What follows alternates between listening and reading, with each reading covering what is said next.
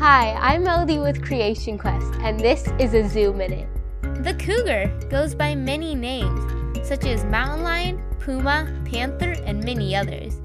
They eat deer and other small mammals. They usually stalk their prey before pouncing on them.